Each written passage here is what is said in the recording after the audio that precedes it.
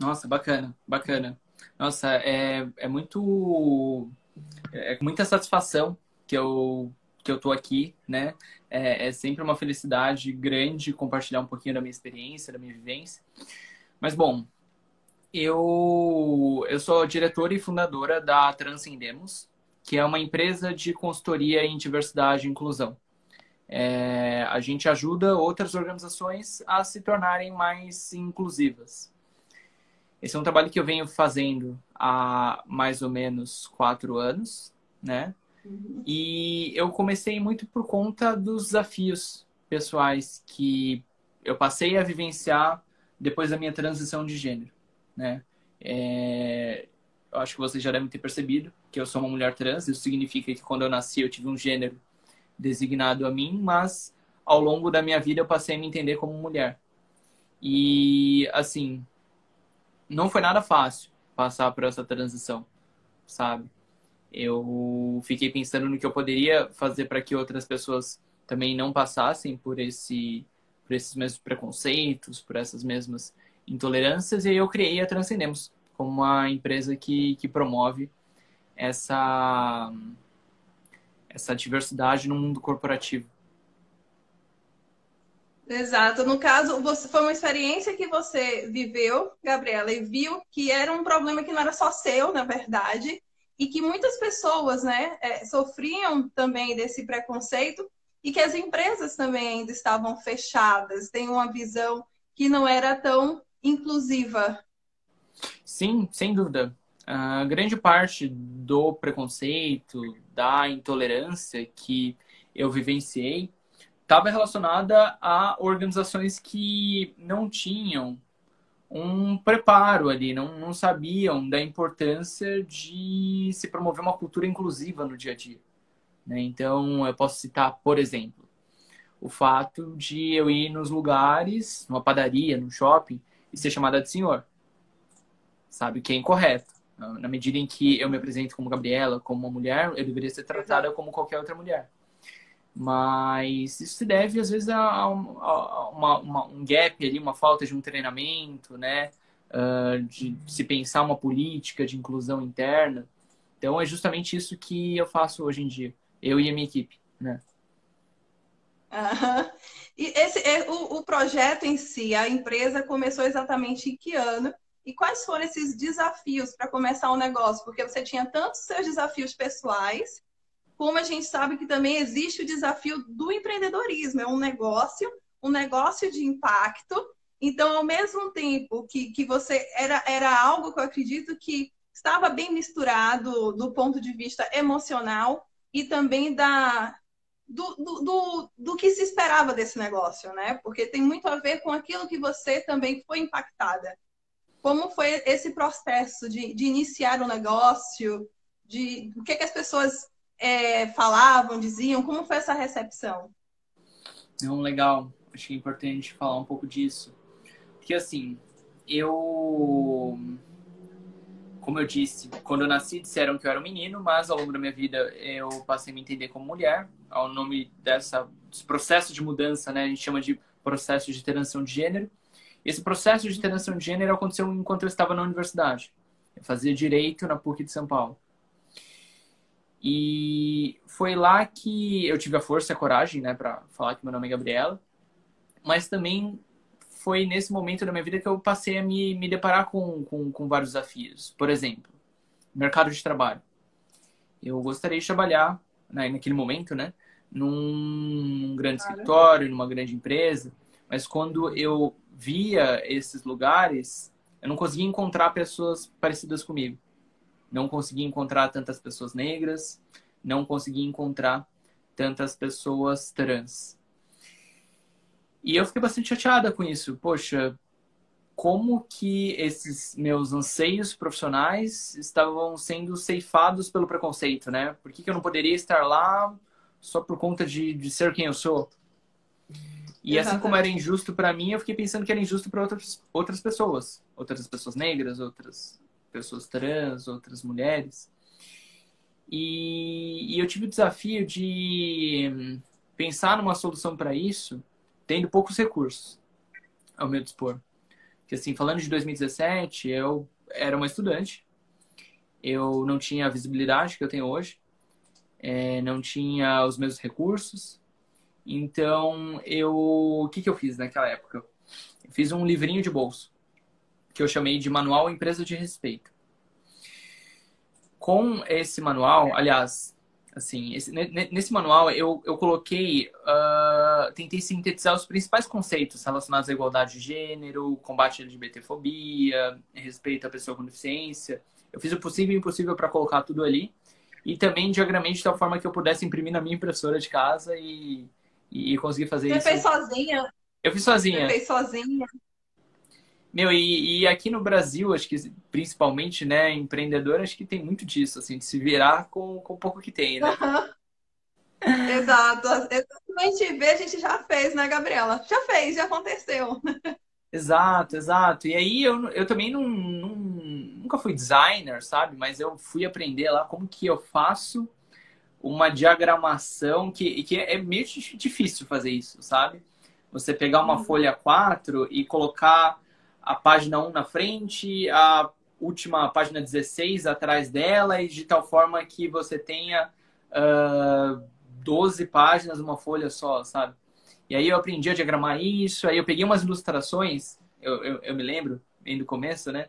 Que eu, eu encontrei uns bonequinhos que eu queria botar nesse livrinho, uhum. eram imagens vetoriais, né? Que são vendidas em dólar na internet. E uhum. eu pedi para a ilustradora, para a artista que fez, eu falei, ó, oh, eu tô com esse projeto, queria fazer um livrinho para conscientizar as pessoas sobre diversidade. Você teria como me ceder os direitos, uma licença de uso? E ela me cedeu de graça.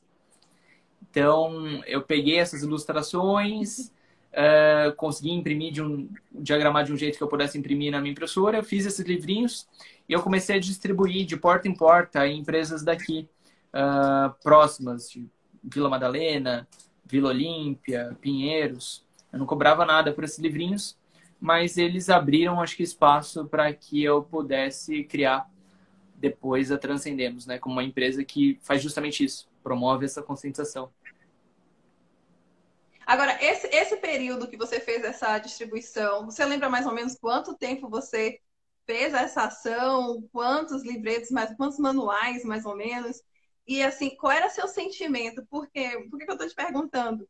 Primeiro, que eu queria entender um pouco mais como foi esse início, esse processo, porque a gente sabe dos desafios e às vezes a vontade de desistir, a vontade de.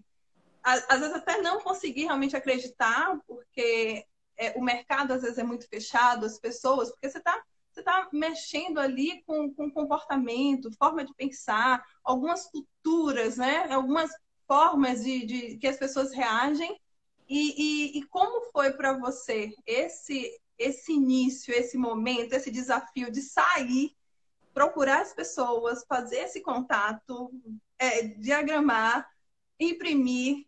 O que é que passou por sua cabeça, assim? Quais foram os principais desafios e o que passou pela sua cabeça? O que é que você sentiu, Gabriela? Poxa, acho que nós mulheres às vezes temos aquela coisa da síndrome da impostora, né? De achar que uhum. não somos capazes, de que o lugar X ou Y não é para nós. Mas eu aprendi que existe uma coisa chamada experimentação, né? Que a experimentação uhum. ela traz novas ideias pra gente, né? Na medida em que a gente, mesmo não sabendo de tudo, vai lá e faz, e aprende, às vezes erra, às vezes acerta, a gente vai aprendendo com isso e vai uh, tocando o negócio, sabe? Então, acho que no começo eu era bastante insegura, eu pensava, poxa, será? Será que eu consigo? Será que faz sentido? Será que vão gostar? Será que vão me receber? Mas eu, eu, eu fui tentando, sabe? Eu fui tentando. Eu acho que esse talvez seja um grande segredo. Você é. botar para rodar a coisa, né? Exato. Mas o que, o que você acha assim que mais te moveu nesse momento em fazer rodar, fazer acontecer? Bom, falando de sentimento, assim, falando da, da minha experiência lá no fundo, né? O que, que eu vivi, o que, que me fez um, continuar com esse trabalho, assim, a cada, a cada situação difícil, a cada preconceito, a cada sabe? Pessoa apontando dele, falando, ah, traveco, ah, me tratando masculino. Uh, cada barreira, assim, que eu via, isso me dava mais força de continuar com esse trabalho, sabe? Acho que teve muito uma coisa pessoal, assim, de, poxa, transformar algo ruim, um sentimento de, uhum. de, de culpa, de insatisfação, de raiva, muitas vezes, em algo propositivo, em uma mudança. Muitas vezes, quando eu chegava em um lugar e não era tratada bem, eu não pensava em brigar com o cara e falar alto com ele. Assim. É claro que várias vezes, assim, às vezes a gente quase perde a paciência, né? Mas Pode confessar, não pode confessar que ninguém é de ferro. ninguém é de ferro. ninguém é de ferro, ninguém é de ferro. Mas acho que eu sou uma pessoa paciente no final das contas, porque eu parava para pensar, poxa, se essa pessoa, se essa empresa tivesse feito um treinamento aqui, isso não estaria acontecendo, uhum. sabe? Então, acho que eu tinha esse mindset mais de, de, de mudança ali, de uma, uma proposição, sabe? Faz sentido? esse perfil empreendedor mesmo, né? Eu acho que esse, esse agente de mudança com esse perfil empreendedor é, é, acabou te dando também mais força, né, Gabriela? E você entrou em um, um, um, mercado, digamos assim, onde a necessidade desse tipo de ação é, é muito relevante. A gente vê até hoje, e, e o que eu te admiro muito, como eu te falei, eu acompanho seu trabalho, te admiro demais mesmo. Estou muito feliz até de estar conversando aqui contigo, de verdade. E, e assim, me identifico muito, claro, em, em é, experiências diferentes, mas também como mulher negra. E por muito tempo eu achava que eu era morena, né? até meus 30 e poucos anos eu achava que eu era morena, e de repente eu me descubro também uma mulher negra. E a gente sabe quanto é difícil, quanto as barreiras o tempo todo no, no nosso caminho, as dúvidas, os rótulos as interrogações, né, quando as pessoas olham é, para a gente, principalmente hoje no meu campo profissional. Eu entrei numa linha onde existem poucas mulheres negras ainda, e, e eu, eu, gosto muito da, da, sua postura e também, digamos, desse seu movimento, porque isso é muito mais do que um negócio. Né? A gente fala negócio de impacto, é um movimento em que a gente leva outras pessoas, a gente mexe em outras pessoas, a gente vai lá e futuca por mais que as pessoas às vezes sejam resistentes, é, existe essa futucada, digamos, digamos assim. E quando você fala de inclusão e diversidade, você fala de uma forma ampla, é, é, também enxergando a dor da outra pessoa. Então, é, seja quando você fala da inclusão das mulheres, a inclusão também de pessoas com necessidades especiais, né, pessoas com deficiências, e eu ouvi que vocês, vocês comentam ainda assim, e outros, porque às vezes existem as, as, as diversidades que a gente não conhece. A gente tem muita percepção do que está em nossa volta. Mas o que for considerado diverso, minoria, e que a gente precisa incluir, acho eu percebo que você tem esse, esse abraço. É. Mas eu, particularmente, tá, Gabriela? E eu quero até que você me ajude a entender um pouco mais com relação ao comportamento das empresas é, do lado de cá, como mulher negra, tá? Estou falando assim, às vezes eu me pergunto é, como é essa política dentro das empresas, se é muito mais marketing, é, realmente existe essa inclusão, essa preocupação, ou elas não querem ficar de fora? Como é que você tem percebido esse mercado? Como é que você tem percebido o comportamento dessas empresas? E, e essas mudanças, a gente sabe também, a partir do momento que você leva a diversidade para dentro das organizações, essa organização ela muda, né? acaba existindo essa mudança. Mas qual é a sua percepção, já que você está diretamente né, é, lidando desde o início, desde esse momento também de, de, de mudança e de avanços? Bom, uh, acho super interessante, super importante essa, essa pergunta, né? A gente precisa entender o quão complexo é esse movimento das empresas se posicionando e investindo mais em diversidade e inclusão, né? Porque, assim, algumas pessoas podem ter uma visão limitada desse assunto. Algumas pessoas podem achar que diversidade e inclusão está só relacionada a marketing, né? Só comunicação, tem a ver com uhum. uh, interferir em decisões de compra, de consumidores. Então, vou pintar meu logo das cores do arco-íris só para vender mais para LGBTs. Tem gente que, que pode uhum. pensar que é só isso. Uh, tem gente que pode pensar, de outro lado, que diversidade e inclusão está só relacionado à responsabilidade social, né? Uh, sustentabilidade. Mas não. Acho que quando a gente fala de diversidade e inclusão, a gente fala de, de um assunto muito mais amplo. A gente precisa ter uma visão holística disso tudo. Então, em primeiro lugar, né, antes de pensar no como, como que as empresas estão desenvolvendo essa estratégia, a gente pensar no, no valor que há por trás disso. Então a gente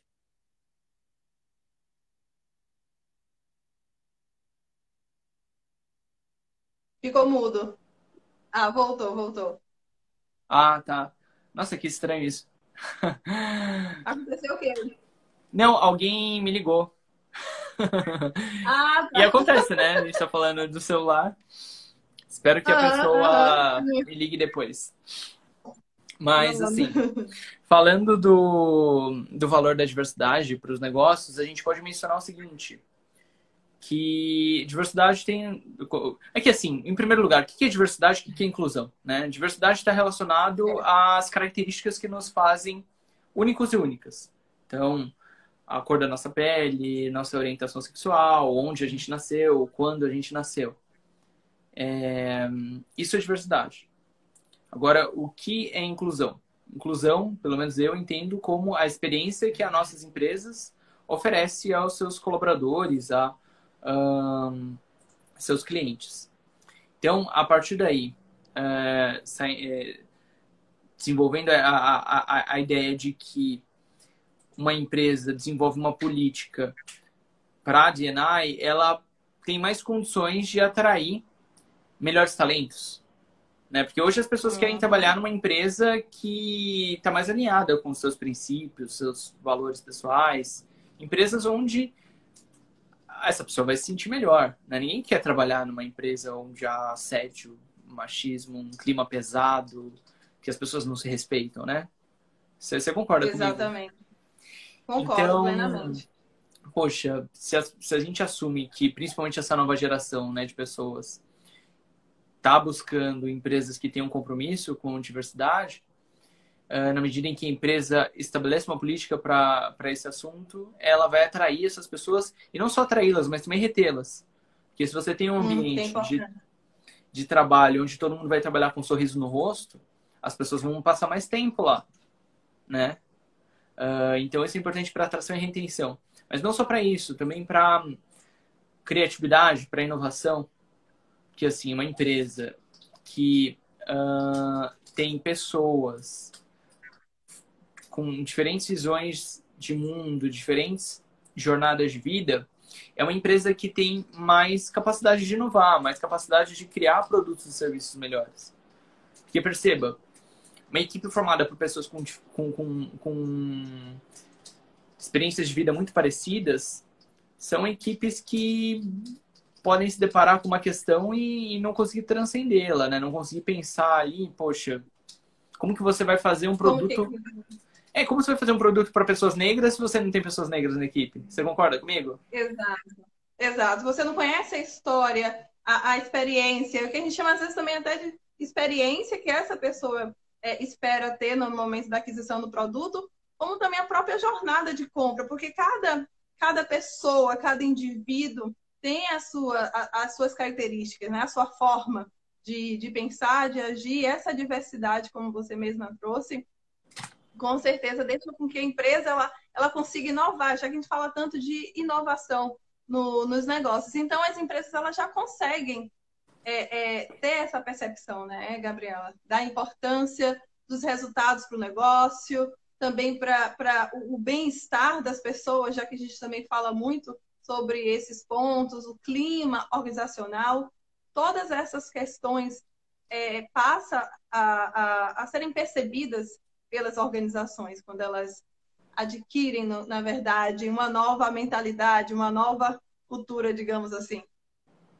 Acontece, né? Sem dúvida, sem dúvida. Acho que empresas mais vanguardistas, mais inovadoras, né? Que de fato uh, pensam na experiência dos seus clientes. Acho que não só clientes, né, mas também colaboradores, que claro, né?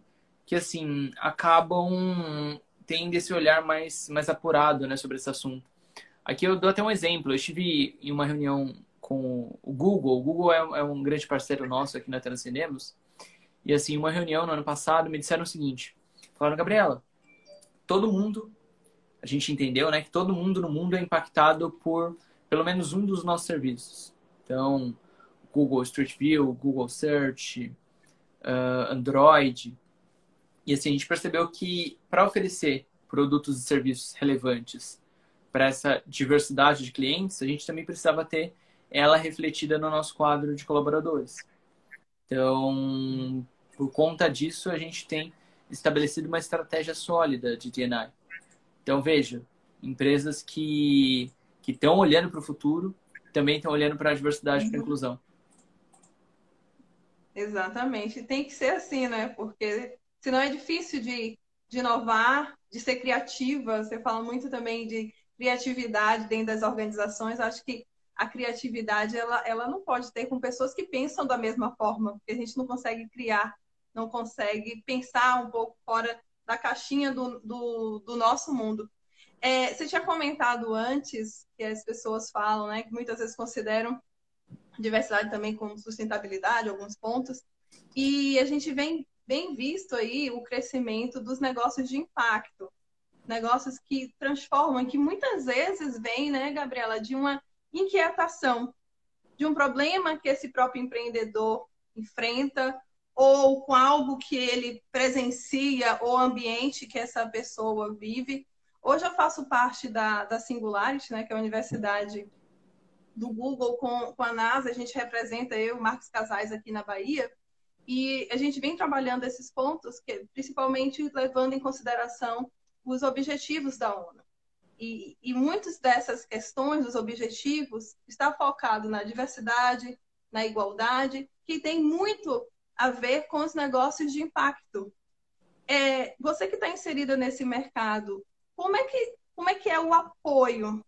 Como é que você enxerga assim o apoio que é dado para os negócios de impacto? O que é que pode ser feito né, é, para que surjam mais negócios de impacto e que também esses negócios eles gerem sim, gerem receitas, ele, porque eles geram também transformação. A gente vê as grandes empresas hoje, as, as empresas que estão cada vez crescendo mais, ainda muitas vezes não tem essa, esse direcionamento, mas a gente percebe que para um crescimento e um desenvolvimento sustentável de modo geral, né, de modo amplo, né, é, é importante se pensar nesses aspectos, né, igualdade, é, diversidade, a inclusão, a educação, que vocês também trabalham também um pouco com essa parte de desenvolvimento, né? Eu queria até que você falasse um pouquinho, mas como é que você vê essa, essa questão do crescimento dos negócios de impacto e também as dificuldades que muitas vezes é enfrentado no mercado? Não, sem dúvida. É um ponto importante também. A gente precisa uh, fomentar esse a diversidade, a inclusão no ecossistema de inovação, né? Porque se a gente olha para CEOs, pessoas que estão à frente dessas uh, startups que estão conseguindo boa atração de mercado, né? Uh, esses grandes negócios, a gente vai encontrar homens, né? Encontrar pessoas brancas, vai encontrar pouca diversidade ali. Então, como que a gente potencializa, né? Empreendedoras mulheres, empreendedores negros. Isso pode se dar de diversas formas, assim. É, se a gente for olhar para investimento, né, o, o, número de startups fundadas por mulheres que recebem investimento é menor do que o número de startups que recebem investimento são fundadas por homens. Então, como que a gente olha já para esses recursos sendo distribuídos de maneira igualitária? Mas às vezes falta informação também, né? Muitas, assim, é, é, é dito que o Brasil é o país do empreendedorismo, mas a grande maioria das empresas aqui, a gente fala eh, de, de, de empresas que, é um, é um, é um empreendedorismo de. Como que eu posso dizer? Me fugiu o termo agora. Mas é por necessidade, né? Então, como hum, que a hum, gente. Eu, eu, particularmente, eu gosto, eu digo até que é muito empreendedor amador. Porque amador. as pessoas, elas, elas têm um dom, né? Ela tem um dom, ela gosta de fazer algo. E no momento, como você mesma falou, de necessidade, ela vai empreender, mas falta a informação, a capacitação, é, formação de preço, alianças, networking, e isso acaba impactando, né? Exato, ah. exato. Então, como que a gente uh, consegue compartilhar ali com essa comunidade de empreendedoras mulheres, empreendedores negros, um conjunto de ferramentas, né, para potencializar essas empresas, para fazer com que esses negócios escalem e escalem trazendo todos esses valores né, de diversidade e inclusão. Porque né, na medida em que você tem mulheres em posição de liderança, você consegue promover uma cultura ali de, de, de, de respeito à questão da igualdade de gênero. Né? Então, acho que todos esses assuntos estão intimamente relacionados. No caso de vocês, da, é, é, vocês tiveram algum apoio? Como foi que você mesma disse, né? Você começou sem recursos. Como foi esse, esse desenvolvimento do negócio? É, essa dificuldade inicial de capital? Conta um pouquinho. Recordar a viver. Vamos recordar esses momentos. Não, é importante essa questão, porque assim, eu tinha zero, assim, eu, eu comprei uns pacotes de folha sulfite para imprimir a minha impressora era daquelas que tinham um baldinho de tinta, então dava para imprimir mais. Uhum. É, e eu comecei a bater perna, assim, ia de porta em porta e eu fiquei um ano sem ganhar nada, assim. Sabe? Eu fiquei um tempão, assim, só uh, aprendendo, lendo, uh, sentando para conversar com o pessoal dessas empresas. Fiz e nesse pra... momento você já pensava em ser um negócio? Já via como um negócio mesmo? Eu já via como um negócio, mas eu comecei muito numa coisa de permuta, assim. Então, ah. poxa, o primeiro treinamento que eu fiz foi, foi numa hamburgueria e eles me deram os hambúrgueres, assim, como pagamento. É... Fiz outros. Mas é uma forma de testar também, né, Gabriela? Foi uma forma de testar. É fazer um MVP é. ali do, do, do seu negócio. Exato, exato. Eu não, não vejo com os olhos, não. Acho que foi fundamental, assim. Precisava testar e precisava testar no ambiente controlado também, porque, poxa, hoje, às vezes eu faço uma live para um treinamento para 600 pessoas, né? Como que eu vou testar algo ali com 600 pessoas ao vivo? Às vezes a gente começa devagar, né? Então, ali, quando uhum. uh, eu queria experimentar algumas técnicas, algumas abordagens, acho que ia muito uma coisa de eu confiar ali na empresa e a empresa confiar em mim, né? tem uma coisa meio recíproca. Então, vamos se ajudar. Então, o que, que eu posso oferecer para você? O que você pode oferecer para mim? Uh, e, e, começou assim, bem devagar, sem recurso nenhum. Quando. No assim, caso, um ano, né? Um ano sim, praticamente, foi? Sim, aí, poxa, primeira palestra que eu fiz, assim, tiveram essas que foram por permuta, mas Acho que a primeira remuneração que eu recebi foram 400 reais, sabe? Que, foi poxa, em que ano? Mais ou menos. Acho que foi, foi lá para 2017 ainda, virada 2017, 2018. E assim, tá, 400 reais é, é pouco, assim, mas pode ser muito para algumas outras pessoas também, né? Uma palestra, que eu, eu fiquei um ano, né, para Uh... Um ano, exato. É. que alguma pessoa pode falar, nossa, mas 400 reais em uma hora tá bom, né? Mas não. Mas aí não. Você, tem, você tem em consideração o trabalho que você fez, toda a pesquisa que você realizou também, né?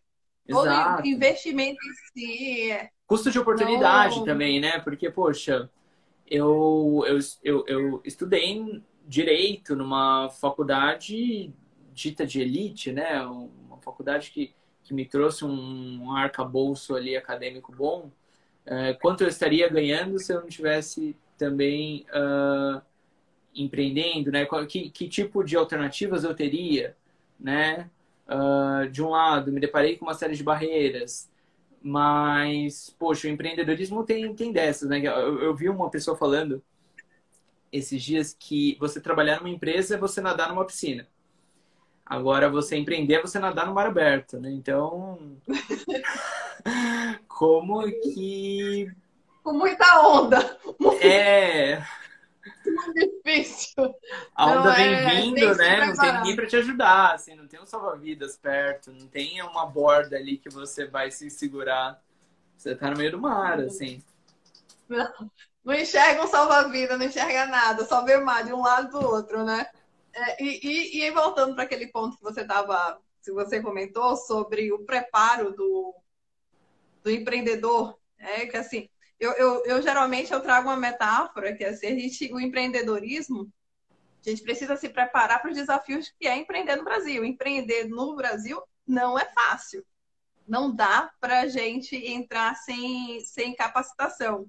E a gente precisa se adaptar, né? Assim como um camelo, ele vive lá no deserto o urso polar está lá no gelo, cada um vai se adaptando e a gente, como ser humano, precisa criar a nossa capacidade, habilidades para poder lidar com esse cenário.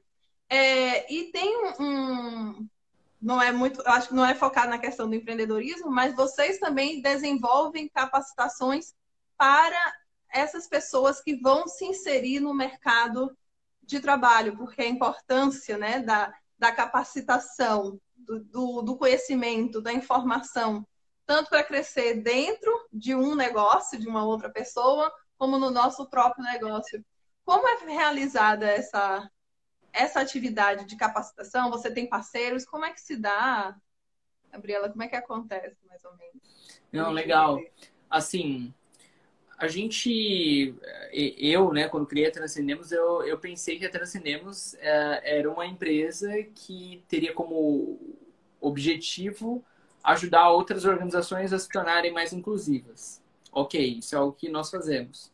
Mas não basta só preparar a organização para receber esses talentos negros, talentos trans, a gente também precisa preparar esses talentos que fazem parte desses grupos subrepresentados, né? apoiar o desenvolvimento dessas pessoas e conectá-las com empresas que de fato estão comprometidas com a diversidade, com a inclusão.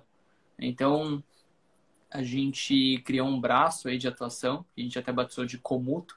Então, quem quiser saber mais, pode procurar no YouTube, Transcendemos Comuto, C-O-M-U-T-O. E a gente tem desenvolvido uma série de, de ações no sentido de. Que eu não gosto da palavra capacitar. Eu acho que as pessoas têm capacidade, né? Mas apoiar o desenvolvimento é, profissional. Olhar para os seus soft skills, olhar para alguns hard skills. Então a gente tem feito isso. É, porque às vezes a habilidade já está ali, né? Só precisa ser desenvolvida, né? Ser trabalhada. Tá. E muitas vezes eu, e que, que vai além porque também você tem a questão de autoestima, de autoconfiança, tem outros aspectos. Porque assim, quando eu vejo também, do modo geral, até do empreendedorismo, você estava comentando sobre as oportunidades que existem. E a gente abriu até uma turma agora para o Founder, que é uma turma que a gente desenvolve novos negócios. E foram cedidas bolsas para mulheres negras, né, pessoas negras. E a gente teve um pouco de dificuldade de encontrar pessoas que, olha, eu quero. E, então, eu acho que também precisa, as pessoas precisam acreditar. Acreditar no próprio potencial, acreditar que é possível, que é sim possível empreender, que o universo, essa trajetória não é, não é fácil, como você mesma falou, e que foi um ano de luta e só passa de fase, porque as lutas sempre existem, existem lutas diferentes, momentos diferentes, mas os desafios eles vão acontecendo, seja no negócio quando está começando, quando está pequeno, quando um negócio já está um pouco maior, mais estruturado, existem desafios distintos, mas a trajetória em si de, de empreender é sempre algo novo que a gente precisa se preparar para conseguir. E quais são os projetos seus, Gabriela, planos, como é que você vê até diante desse cenário que a gente está enfrentando agora de, de, pandem de pandemia, é, a economia também, muitas incertezas, mas o que é que você, como é que você enxerga tanto o seu negócio como os cenários, o mercado? Não, legal. Boa pergunta também. Assim, é curioso, né, que a gente vive num momento de, de, de, de instabilidade, né, política, econômica, mas isso é visto de diferentes maneiras, né? Então, se a gente olha uhum. para indicadores do mercado financeiro para a bolsa e Bovespa, né? Tá lá em cima. Mas de outro lado, quando a gente olha para as empresas, elas estão fechadas. Então, o copo pode estar meio cheio ou meio vazio, né? É, depende. Às vezes, assim, até eu, eu atuo com pequenos negócios. Eu tenho pequenos empreendedores até com negócios tradicionais, que no momento eles conseguiram crescer.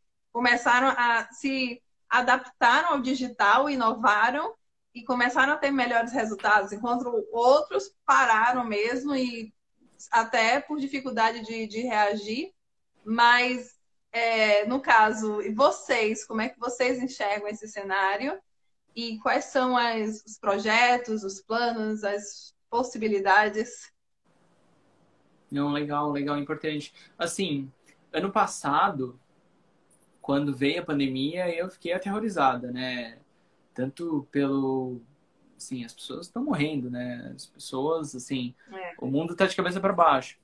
Mas. Foi ruim eu... para todo mundo, né? Difícil. Não, foi ruim para todo mundo, ainda tá sendo. Mas. Sobre a Transcendemos em si, sobre o meu business, os, no, os meus contratos foram cancelados, remarcados. Também o, o, nosso faturamento caiu absurdamente, sabe? E eu fiquei em dúvida se as empresas iam continuar investindo em diversidade e inclusão. Fiquei em dúvida se essa ainda seria uma prioridade. Mas aí uh, houve uma série de acontecimentos ali em 2020, né? Desde George Floyd, pessoa que morreu na, naquela rede de supermercados, Uh, isso também deu um start, virou a chave em, em, grande parte das empresas de investir mais nesse tema. E aí buscaram consultorias, e aí meu negócio voltou a, a ter mais visibilidade, ter mais uma, uma a demanda foi crescendo vertiginosamente, sabe? E, e, e isso foi, foi, foi importante para mim, né? Saber, saber me adaptar a esse novo cenário, porque na Transcendemos agora a gente tem feito quase tudo virtualmente, né? Todos os treinamentos, workshops que a gente fazia uh, de maneira presencial, as reuniões, os projetos, os post-its, agora são post-its digitais, né? adaptação, né? Tem que se inovar diante do cenário. Não tem pra onde correr. Exato, mas e... foi bacana até, porque muitas coisas que a gente fazia antes e a gente gostava de fazer ao vivo e a cores, né? Uh, a é gente bom, também. Bem, muito bom. A gente está fazendo online e fazendo melhor ainda, sabe? Então. Ótimo. Vai surgir algum novo serviço, Gabriela? A partir do momento que você foi para o digital, é, você conseguiu perceber a oportunidade de algum outro serviço ou adaptação, melhoria do que já tinha, com alguma, alguma questão assim? Então, nós temos alguns projetos em andamento sendo desenvolvidos que uh, serão lançados em breve, então você vai ser uma das primeiras Aguardem. a saber. Aguardem, fazer um, um, teaser aqui, uma provocação. É, mas a ideia é que a gente hoje no digital pode alcançar mais pessoas, né? Uhum. Então, poxa, já fiz treinamentos com 600 pessoas ao vivo. Poxa, para colocar 600 pessoas num lugar é difícil, assim, pegar um auditório, né? Quantas cadeiras, iluminação, organização, limpeza, uma tela muito grande. Mas agora online dá para colocar 600 pessoas aqui agora, né? Dá para colocar 600 pessoas no Zoom, no Teams. É, então, número de reuniões, né? Poxa, às vezes tinha que ir lá numa empresa, num lugar, não sei aonde, né? conversar com a pessoa. E aí era o dia todo, só para fazer uma reunião, sabe? Hoje eu consigo fazer 15 reuniões. Ah. Então. Mudou muita coisa, possibilidades que as pessoas antes eram resistentes. Existia uma resistência, né? É, mas acho que muitas empresas ainda são resistentes, né? Eu atendo algumas organizações que, que pedem para imprimir o documento, assinar, escanear e enviar, sabe? Gente, isso! Me pediram isso tem o quê? Umas duas semanas. Eu, Oi? Precisa, tipo assim, precisa mesmo? Mas é... eu vou fazer isso, imprimir, imprimir, assinei, digitalizei. Mas tudo bem, né? O que, que a gente não faz? Não, ainda bem que não tem que ir no cartório lá, né? Imprimir, assinar, reconhecer firma, escanear e mandar. Não fale não. Não fale não. Gabriela, eu vou te pedir o seguinte agora, a gente está chegando no finalzinho da nossa live. Eu queria que você deixasse uma mensagem, um recado. O que é que você gostaria de compartilhar com as pessoas que vão também assistir essa live? Gente, a live vai ficar salva aqui no, no, na página do Jornal Correio. E amanhã sairá também uma matéria contando tudo que a gente conversou aqui. Né? E, e é isso, a sua mensagem também vai ficar nessa, nessa matéria. Então, eu gostaria que você compartilhasse com a gente algum sentimento, ideia. Fica à vontade. Bom, compartilhando sentimento é de felicidade, né? De estar aqui conversando com vocês sobre um assunto tão importante, tendo essa visibilidade. É, eu queria dizer para quem uh, tem interesse né, no tema, quer conhecer o nosso trabalho, entrar no nosso site, que é transcendemos.com.br. Podem me seguir aqui no Instagram também, arroba gabriela.alg. Ao nosso Instagram da Transcendemos, né, que é arroba transcendemos underline. Eu tô no LinkedIn também, acho que eu tô postando mais no LinkedIn do que aqui. Fui eleita como top voice é. lá, isso aumentou assim a minha visibilidade, então podem procurar por Gabriela Augusto. Mas eu acho que acompanha como... muito lá. Você acompanha lá, né? Acho que a gente se conheceu por lá, né? É. É. Uhum. Uhum. E assim, eu acho que falando de diversidade, falando de empreendedorismo, assim, aproveitando que hoje é o último dia de março, né, mês das mulheres, acho que eu mandaria uma mensagem assim para uh, eh, para nós mulheres que podemos apoiar outras mulheres, né? Como que a gente uh, potencializa essa nossa força? Como que a gente olha para a sororidade, né, como um conceito fundamental? Como que a gente se ajuda?